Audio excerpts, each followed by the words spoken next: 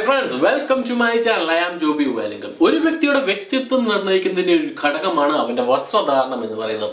അവന് ഇഷ്ടമുള്ള വസ്ത്രം ധരിക്കാം പക്ഷേ വൃത്തിയും വെടുപ്പുമായിട്ട് കൊണ്ടു നടക്കണം എന്ന് മാത്രം. പലരും വില കൂടിയ വസ്ത്രങ്ങൾ അല്ലെങ്കിൽ വില കുറഞ്ഞ വസ്ത്രങ്ങൾ ഇതൊന്നും പ്രശ്നമല്ല. എന്ത് ധരിച്ചാലും അത് വൃത്തിയും വെടുപ്പുമായിട്ട് നടക്കുക എന്നുള്ളതാണ് ഏറ്റവും ഇമ്പോർട്ടന്റ് ആയ ഘടകം. എന്നാലും അതിനായിട്ട് സാധാരണ നമ്മൾ ഉപയോഗിച്ചു ഉപയോഗിച്ചുകൊണ്ടിരിക്കുന്നത് എക്സാമ്പിൾ പറയുകയാണെങ്കിൽ വെച്ചാൽ മുണ്ട് വൈറ്റ് ഷർട്ടുകൾ അല്ലെങ്കിൽ മുണ്ട് ഇതൊക്കെ നമ്മൾ സാധാരണ രീതിയിൽ നല്ല വട്ടി പോലെ കൊണ്ടു നടക്കാൻ വേണ്ടി നമ്മൾ കണ്ടിട്ട് രാഷ്ട്രീയ പ്രവർത്തകർ കൊണ്ടു നടക്കുന്ന പോലെ നല്ല വട്ടിയായിട്ട് നല്ല സ്റ്റിഫായിട്ടിരിക്കാൻ വേണ്ടി നമ്മൾ സാധാരണ ചെയ്തുകൊണ്ടിരിക്കുന്നത്. നമ്മൾ കഞ്ഞി വെള്ളത്തിൽ മുക്കുകയാണ് സാധാരണ ചെയ്യുന്നത്. അല്ലെങ്കിൽ നമുക്ക് അലക്കാരുടെ കൊടുത്താലും അവരും ചെയ്യുന്ന കഞ്ഞി വെള്ളത്തിൽ മുക്കി ശരിക്കും തേച്ചെടുക്കുകയാണ് സാധാരണ ചെയ്യുന്നത്. അല്ലെങ്കിൽ ഇങ്ങനെ സ്റ്റിഫ് ആകാൻ വേണ്ടിയുള്ള സാധനങ്ങൾ നമുക്ക് കടകളിൽ നിന്ന് മേടിക്കാൻ കിട്ടും അത് മേടിച്ചാണ് ഉപയോഗിക്കുന്നത്. എന്നാലും കഞ്ഞിവെള്ളം വെള്ളം എന്നുള്ള സാധനം നമ്മൾ ഉപയോഗിച്ച് ശരിക്കായിട്ട് ഉപയോഗിച്ചില്ലെങ്കിലും ഇനി പറ്റുന്ന ഏറ്റവും വലിയ ഒരു അപാകത എന്ന് പറഞ്ഞാൽ നമുക്ക് മണം വരും. ഒരല്പം വേർപ്പൊക്കെ നമ്മുടെ ഇപ്പോഴത്തെ കാലാവസ്ഥ നമുക്കറിയാലോ.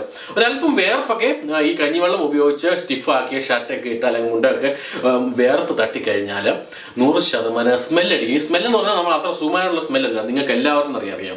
എന്തായാലും അങ്ങനെ ഒരു സ്മെല്ലും ഇല്ലാത്ത നമ്മൾ കടയിൽ നിന്ന് ഒരു സ്റ്റിഫായിട്ടുള്ള ഇതുപോലുള്ള സാധനം ഒന്നും മേടിക്കാതെ തന്നെ ഈസി ആയിട്ട് നമ്മുടെ വീട്ടിൽ കിട്ടുന്ന ഒരു സാധനം കൊണ്ട് നല്ല അടിപൊളിയായിട്ട് നമ്മുടെ ഷർട്ട് നമ്മുടെ മുണ്ട് അല്ലെങ്കിൽ ഇതുപോലുള്ള എന്ത് തരത്തിലുള്ള വസ്ത്രമാണെങ്കിലും നല്ല അടിപൊളിയായിട്ട് സ്റ്റിഫായിട്ട് കൊണ്ടു നടക്കാൻ സാധിക്കും.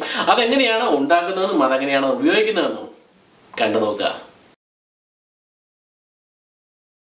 പാത്രം എടുത്ത ശേഷം അതിൽ അല്പം വെള്ളം ഒഴിക്കുക ഓക്കെ വെള്ളത്തിന്റെ അളവ് വെച്ചാൽ നമ്മൾ ഏത് ഡ്രസ്സാണോ മുക്കാൻ ഉപയോഗിക്കുന്നത് അതിന് ആവശ്യമുള്ള വെള്ളം എടുക്കുക ഓക്കെ ഇതിപ്പോൾ ഞാൻ ഷർട്ട് മുക്കാനായിട്ടാണ് ഉപയോഗിക്കുന്നത്. അപ്പോൾ ഇത്രയും വെള്ളം എടുക്കുക.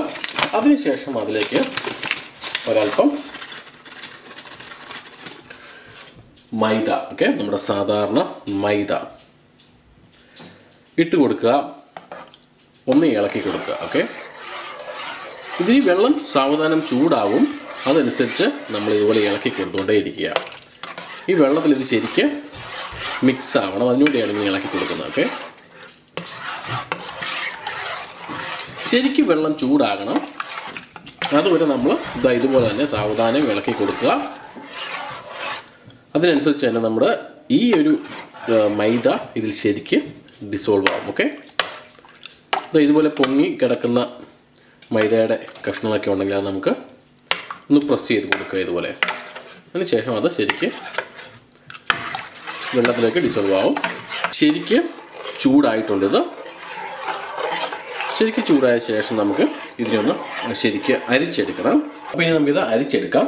അരിച്ചെടുക്കുന്ന എന്തിനാ വെച്ചാൽ നമുക്കിതിലെ ഡിസോൾവ് ആകാതെ കിടക്കുന്ന തരികളൊക്കെ ഒന്ന് മാറും. നമുക്ക് പ്യൂർ ആയിട്ടുള്ള ഈ വെള്ളം മാത്രം മതി ഓക്കെ അപ്പോൾ ദാ ഇത്രയും ഭാഗം ഇങ്ങനെ വരുന്നതൊക്കെ നമുക്ക് മാറ്റണം. കാരണം അതാ ഇതുപോലെ അരിച്ചെടുത്ത ശേഷം കുറച്ച് സമയം ചൂടൊന്ന് പോകാൻ വേണ്ടി നിൽക്കുക. അതിനുശേഷം ചെറു ചൂടോട് കൂടി നമുക്ക് നമ്മൾ മുക്കാൻ ഉപയോഗിക്കുന്ന ഏത് ഡ്രസ്സാണോ അത് നമുക്ക് ഡയറക്റ്റ് ആയിട്ട് തന്നെ മുക്കാവുന്നുള്ളൂ ഓക്കെ അപ്പോൾ അതാ ഇതിലേക്ക് ഞാൻ എന്റെ ഷർട്ട് വൈറ്റ് ഷർട്ടാണ് മുക്കുന്നത്. ശരിക്ക് മുക്കി വെക്കുക വെള്ളത്തിലേക്ക്. അല്പം ചൂടുണ്ട്. നിങ്ങൾ ചെയ്യുമ്പോൾ ഒരല്പം ചൂട് കുറച്ച ശേഷം മാത്രം ചെയ്യുക ഓക്കെ?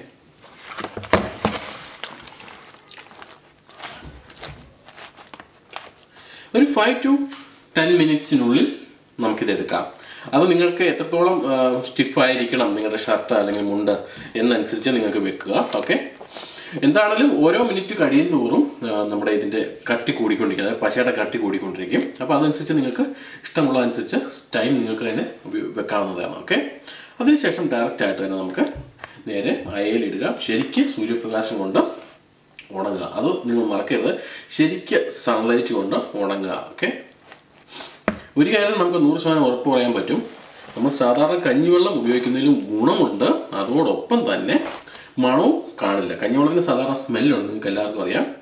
എന്തായാലും അങ്ങനെ ഒരു പ്രശ്നം ഉണ്ടാകില്ല അതുകൊണ്ട് തന്നെ നമുക്ക് പ്രത്യേകിച്ച് വലിയ ചിലവൊന്നും ഇല്ലാതെ തന്നെ ഈസി ആയിട്ട് ഇത് ചെയ്യാൻ സാധിക്കും. ഓക്കെ അപ്പോൾ ഇതുപോലെ നമുക്ക് എടുക്കാം. ശരിക്ക് ഊരി പിഴിയണമെന്നൊന്നുമില്ല നമുക്ക് ഇതേപടി തന്നെ ഇടാം. ഓക്കെ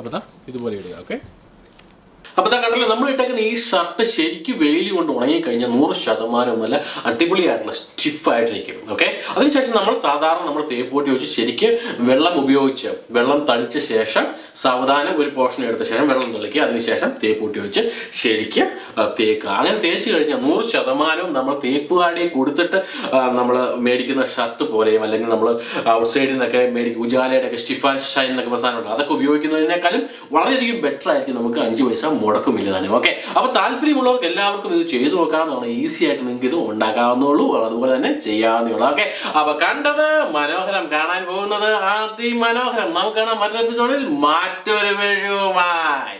ഞാൻ വരും നിങ്ങളുടെ സ്വന്തം ജോബി അല്ലെങ്കിൽ ദൂരേക്കും ഷോപ്പ് റൈറ്റ് കൂടുതൽ വീഡിയോയ്ക്കും വിശകലനങ്ങൾക്കും ഫേസ്ബുക്ക് പേജ് ലൈക്ക് ചെയ്യാൻ യൂട്യൂബ് ചാനൽ സബ്സ്ക്രൈബ് ചെയ്യാനും എന്റെ വെബ്സൈറ്റ് സന്ദർശിക്കുവാനും മറക്കാതിരിക്കുക. ജോബി വയലിങ്കൽ.